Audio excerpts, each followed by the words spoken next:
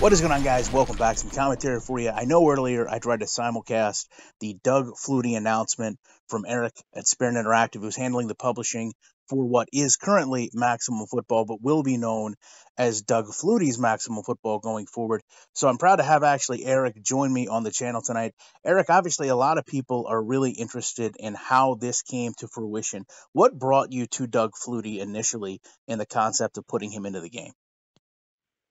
You know, it would all started with just thinking who would be the best player that we could align ourselves with, right? So who's had success at all three levels of college, Canadian football, and of course U.S. Pro, you know, NFL football. And Doug Flutie was actually the first person that came to mind, and um, you know, we we reached out and um, were able to start discussions with Doug a couple months ago, and were able to finally come to an agreement, and um, you know, probably came to an agreement maybe about three or four weeks ago, right right around when we started to kind of tease the announcement.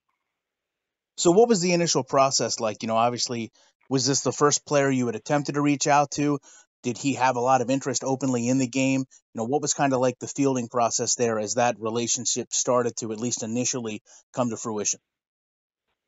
Yeah, Doug was actually our first choice. Um, which is pretty rare, and we kind of joke about that now. It's like how how rare is it that you you know you get your first choice, right? So we we reached out and um, you know we reached out through Doug's representation and and they were they were interested right away. Um, they had really kind of done their background research on the Maximum Football brand, but not not only just Maximum Football, but David Winter and you know David's history developing games, and they knew that we actually had a product out there. Um, you know, they they knew that we could deliver on another one next year, right? Because we had, you know, Dave's obviously been building games for a long time, but he had a real recent history of Canadian football 2017, maximum football 2018, and you know what we were proposing is another title next year, but you know built around Doug's likeness. Could you talk a little bit about how this is going to position you guys, obviously very early into this relationship, but what this is going to do to help position you guys going forward in terms of building upon the game, the name recognition somebody like Doug Flutie is going to bring, and maybe what we can expect as far as changes with him now becoming involved?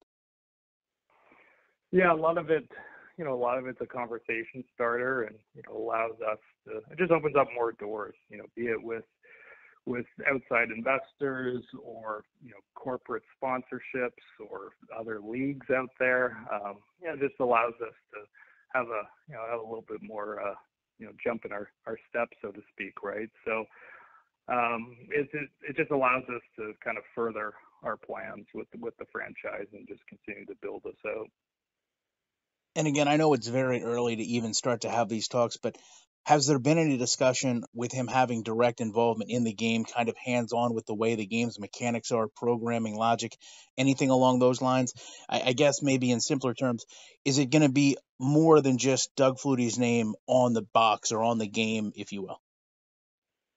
Yeah, it's going to be a deeper relationship than that. Um, it really is a true partnership within the company. It's not. This is not just a, a one and done, you know, likeness type arrangement. Um, this is, you know, a true partnership, and and we expect, you know, from from both sides that, um, you know, we're we're going to grow the brand together. So, you know, where we need, you know, Doug, where we need to leverage Doug, you know, we're we're do so, um, and you know, we we expect him to to be receptive to that because he he's a partner with us. So, if you could kind of just briefly surmise how this whole thing in the last month of going through this courting process, if you will, has been not just for you, but for maximum football as well. Could you talk just a little bit about that whole process as a whole and what you really expected to get out of it and maybe things that you didn't totally maybe think would come through but have? Well, in general, I mean, you know, we've been, you know, very happy with with our arrangement with Doug. Like everything that everything that we wished for, you know, has has come true, and and um, you know, not only with Doug, but I think in in the past couple months, you know, everybody's kind of seen the the progression that we continue to make. You know, the the spring league, um, you know, we brought on board as well, um, probably about a month and a half ago. They'll be in the game next week, right?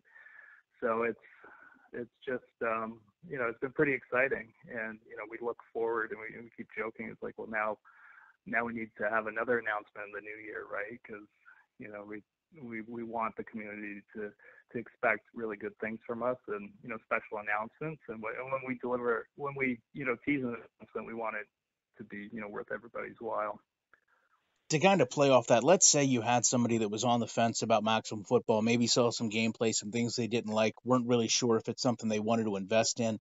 What would you tell them going forward they can expect, not just because of Doug Flutie's involvement, but because of the direction this game has been going in general? Yeah, I think I think the biggest takeaway is we are community members building the game. Um, you know, uh, Dave's got a history of of building games. And you know, Dave's the only developer building the game. There's a there's a track history there. Um, you know, for myself, I've been in the community for a long time. Been an active member on Operation Sports since 2002. You know, I'm I'm just one of you guys.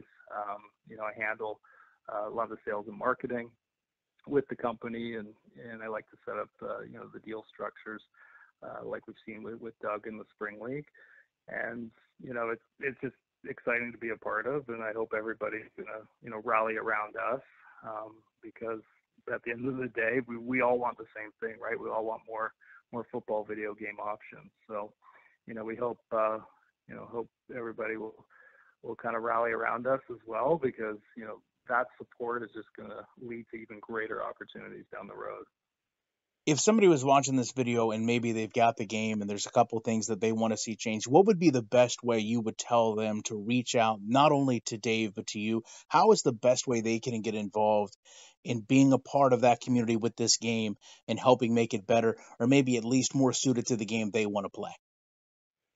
Yeah, so we've got, um, you know, we're pretty accessible. So you can find us at Max Football Game on Twitter. Um, you can find us there on Instagram as well um, you know, when, when you send a message over that, you're, you're communicating directly with myself and with Dave. Um, so you can certainly send us a direct message or, or tweet at us. Um, but also we have a Discord set up, uh, which is pretty active. So every day there's community members providing feedback to us. And um, use an example, I mean, um, I think uh, a couple weeks ago, you know, we had a lot of requests within Discord in particular, just about just having the helmet logos uh, added into the game now that we have the logo editor.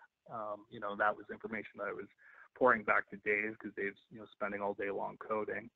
Um, and then, you know, Dave was able to, you know, hear hear that that was something that the community really wanted and, you know, was able to get that into the next content update. So, you know, a lot of mediums to, to access us on. Um, we also have a Playmaker Club as well. Uh, so for those that really, really want to get involved, and you know start helping us doing developments you know before we go public with with some announcements.